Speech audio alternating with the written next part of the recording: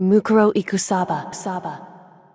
Mukuro Ikusaba, the 16th student who hidden somewhere in this school, the one they call the ultimate despair. Mukuro Ikusaba. Mukuro Ikusaba, the 16th Ikusaba, claims hidden somewhere in this school, the one they call the ultimate despair. Mukuro Ikusaba. Mukuro Ikusaba, the 16th somewhere, call the ultimate despair.